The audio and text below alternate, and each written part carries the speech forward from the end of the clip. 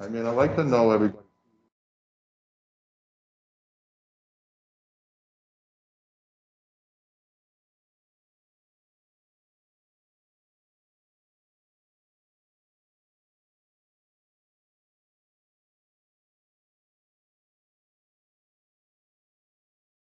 Alan? I've been great. Healthy, so. uh, Not for it. Been busy? Busy as I was No. before November 3rd. Oh.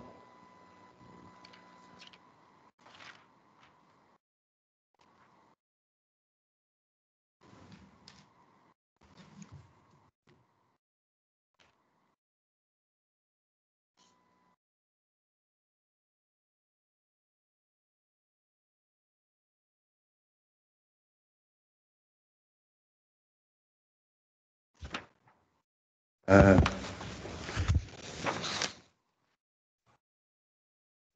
The application.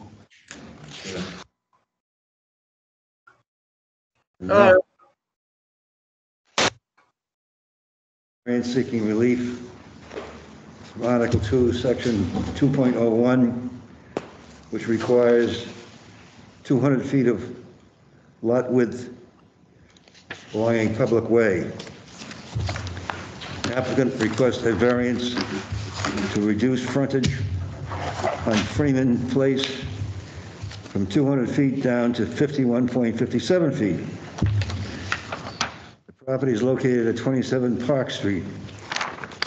Assessors map 1520227, which can be seen at the town clerk's office.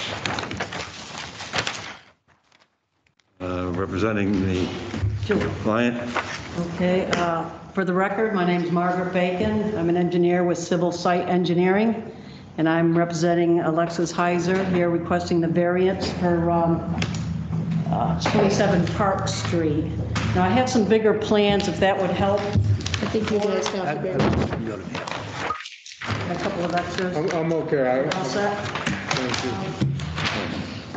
So basically, uh, down here, and and it's a, it's a- it's a large parcel, it's a 37 acre parcel that the frontage is on Park Street, uh, and there's a lot of wetlands down here along Park, Park Street. And then there, the up, the nice upland part is uh, right off at the end of Freeman Place. So, uh, they do have 51.57 feet of frontage right at the end of the Freeman Place cul-de-sac. They'd be able to access this, this upland area right here that they would like to uh, subdivide a one and a, one and a half acre building lot for a single-family house. One of the things, I I did print out, I don't know if this would be helpful to the board at all, but I did print out a, uh,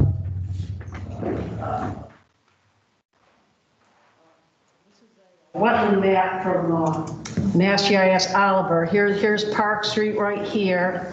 Here's Freeman Place. Uh, This circle's where we'd like to build, and this is the, the property limits right here. But as you can see, all this yellow is uh, rare species habitat, and then here's all wetlands that all come right down into Park Street.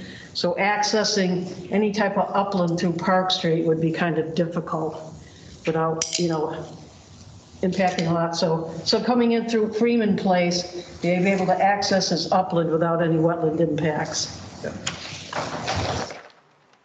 What is the, Jim, can I ask a question? Can I go ahead? What is, what is the uh, upland uh, air- uh, area square footage? Uh, For this lot here, or for the entire, there's this 37 acre parcel, Okay, give or, give or take.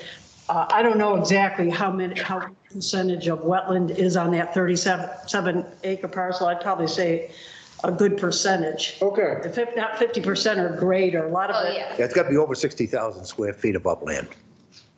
uh, 60,000 feet at the Acre and a half.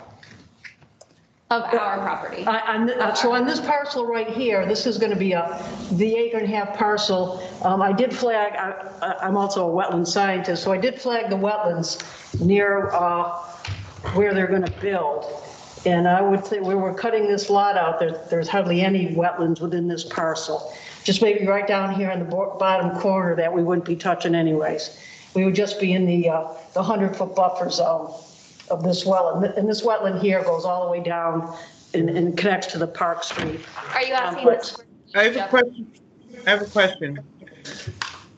Um, so is this, when you, say- I see proposed lot, are you splitting off a new parcel? Uh, Out of this 37 acre parcel, yes, they'd like to split off one parcel that's about an acre and a half, 60,000 square feet. Be- Believe a little more, which is required in that zone. So will you, got, would you be looking to build in the original parcel? No, we would be building in the proposed lot section. There's no plans for building in the other parcel, the, the one that you're not, that you're splitting from? No, that's correct. That would be left just family recreational land. Okay. I'm sorry, what was your response to that? Um, the rest of the parcel would just be left as, is my grandfather's property, John Plumbo. Um, it would just be left as family, family property that we would, you know, use, but it wouldn't be buildable. We're just looking to, um, build on that small, the acre and a half lot. Thank you, thank you.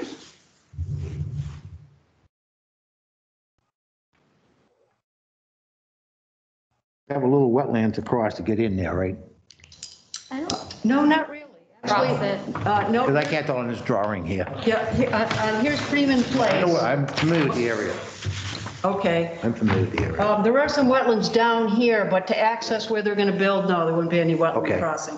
I went down there and walked around, so that they can access the proposed lot from the. I've been in Freedom Way many times. here, place. Just never paid attention. Haven't had a reason to. So the 37 acres overall lot that you, that's available here are, is that the, I guess what, my question is that the, your proposed lot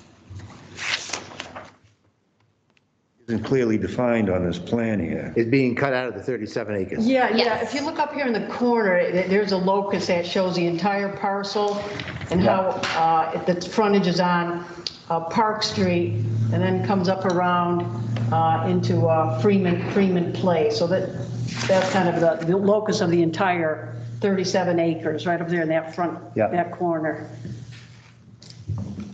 So are we saying this, this acre and a half here is defined by this solid lot line? Uh, The proposed, uh, yeah, this lot line right here, that's correct. That's right. Okay. And it, it shows the perk, the perk location in the middle of it. too. Yeah, we we That- did, yeah, we did perk this in the summer. Yeah. But you still own the whole 37 acres. My grandfather does, yep. Okay.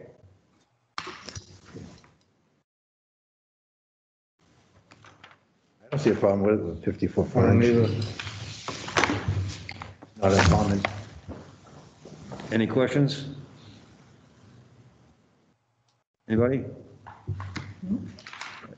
Have a motion? There's nobody on except for Tom. Nobody on?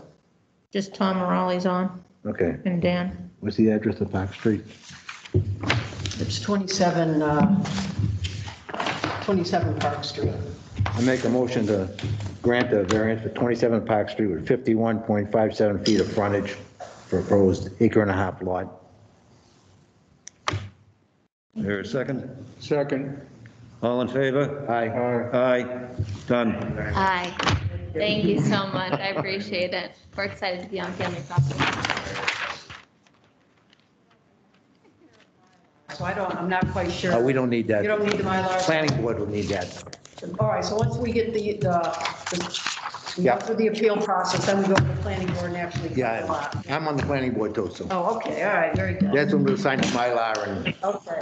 And Jim, will she be writing the decision? Will they be writing the decision? I don't know, uh, do you want to write the decision or? Oh, no. You no. want us to? I mean, I Well, I don't know. I can do it. Why don't we just do it? Just, Okay.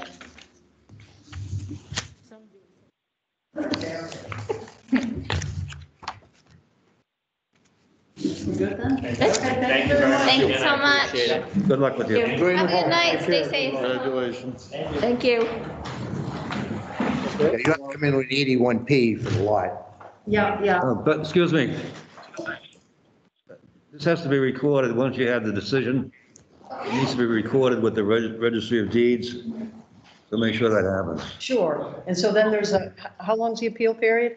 20 days 20 days. And so- after the decision's filed. Sure. And then, and then after that, once we go through the appeal process, then I come back to the planning board. Yeah, you come back to that's- planning board with an 81P Sure. Okay, with the, take the variance with you, because we've had that before, somebody shows up and says, So once the decision's written and I pass it by Jim, because everybody don't do it right I'll send you, I'll send you both a copy. and we'll record it. Yeah, a lot of times, we had one just last You're week, they welcome. came in and, you know, we granted the variance four or five years ago. and they- And they asked me, said, did you grant that? I couldn't remember what I did four, five, I can't remember what I did three weeks ago. So take this decision with you. Thank you. Yeah. Thanks again, I appreciate it. Now somebody's on. Okay, that was easy. Very easy. All right, All right. we get the minutes to approve, right? Yeah. So now I have, uh, did you guys get the copies of the Yes, I minutes? All right. Yep. I put hard copies there in case you Yeah, I need read them. them all. So these were the two in August. Yep. Oh, wow, we have video. One motion to approve them, or did everybody read them? Yep. You, did everybody get a chance to read them? The minutes? The minutes, did you get a chance to read them? I did not. All right, there's some in front of you. Okay. Apologies, I read the application, but I didn't have a chance to go through the minutes. Well, I, in fairness, I only put the minutes out this, today. I do have to say, that sending that electronically ahead of time is terrific, thank you. You're welcome. I, I don't mind giving the hard copies here, but I think if you have it ahead of time, it helps. It does.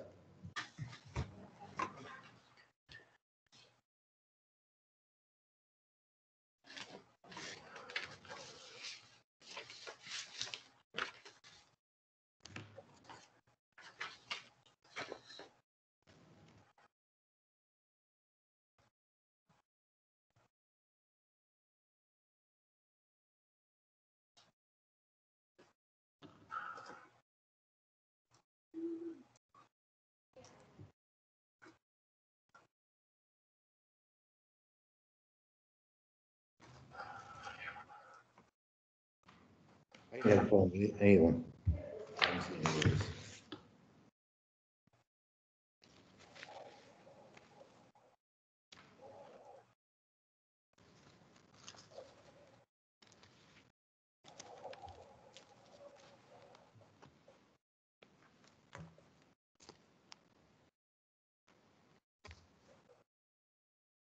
Okay.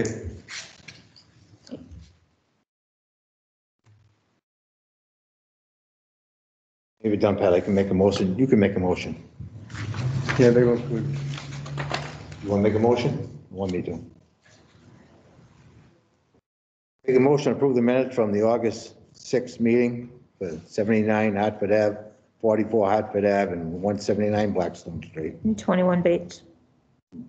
21 Bates, yeah, oh yeah, that's the top, I didn't see. Do I hear a second? Second, All in favor? Aye. Make a motion to approve the minutes for August 20th of 42 Maury Street, 1 Quistit Road, and 179 Blackstone Street. A second? second, All in favor? Aye. all right. Aye. All right, and there is no correspondence to the board. That's good. You mean no heat this week? Nothing.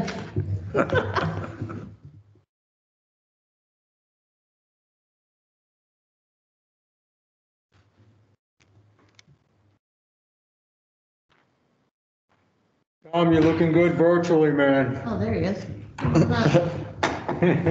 He's not sick. We is he? make a motion to adjourn? He's not sick. Yeah, I make a motion. I mean, well, look, Mendon's, Mendon's red right now, so. Oh, I. Do I hear a second to adjourn? Second that? Second. All right. All in favor to adjourn? All right. All right. Have a great night, guys. Now, you don't, Bye. You know, so. Thank you. Take care, man. Better stop.